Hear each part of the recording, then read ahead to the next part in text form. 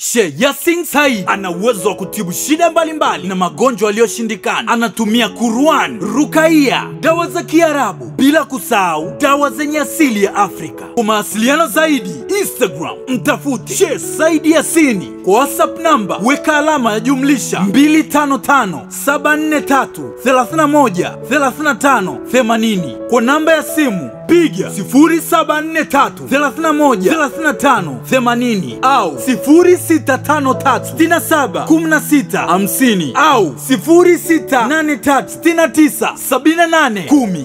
Malipo ni kama sadaka, utalipia baada ya mafanikio. Tuzungumze na hili kidogo. Ulitoa ahadi kama Diamond Platinum kama atamuoa Tanasha, ungefanya tukio ambalo nahisi lingekuingiza kwenye kumbukumbu ya taifa baada ya kuahidi eh, kutoa haja kubwa eneo ambalo lilokuwepo mpaka Mwenge. Sasa hebu tuambie, na tunaona mapenzi ya Diamond kama anaelekea kwenye ndoa. Je, unaweza ukatimiza ahadi yako ambayo umeiahidi kama Diamond akimuoa Tanasha? mtu anaingia kwenye ndoa anamjua, Ndio maana nime, nimesema vile na 100% my brother, siwezi kuropoka kitu ambacho sina uhakika nacho.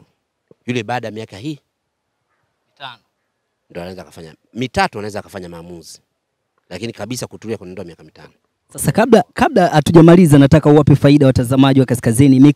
Hebu tupe sifa tano za mwanamke ambaye anatakiwa kuolewa, anatakiwa kuwa kwenye mandhari gani? ili kwa kijana yoyote ambaye anafuatilia hii online TV, kabla ya kuoa, zingatia vitu vitatu. Oa mwanamke kutokana na ahlal baiti yake, ukoo wake. Unaangalia anatoka kwenye ukoo, ukoo gani?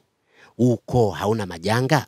Hilo la kwanza. La pili, oa mwanamke kutokana na uzuri wake, ana appearance, unahisi hautomchoka. Sio unaoa mwanamke amezaa tumbo limeshuka hivi hana mbele hana nyuma, unaanza kumzihaki. Uliangalia, uliangalia familia yake, ulimwangalia, ulimtathmini, huyu hata akizaa huyu hamna tatizo. Ya tatu, oa mwanamke kwa dini yake ambayo inaendana na wewe, msivutane kwenye dini, lakini oa mwanamke kwa hofu alokuwa nayo ya Mungu. Mwanamke alokuwa na Mungu hawezi kukusumbua.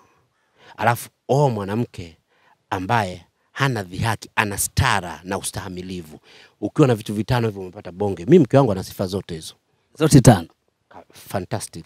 Sasa ukiwa na mdogo wako au na baba yako mdogo au mtoto wa shangazi yako, kati ya majina ambayo nakutajia, Wema Sepetu, Jacqueline Wolper, Aileen Uwoya, utamwambia amuoe yupi?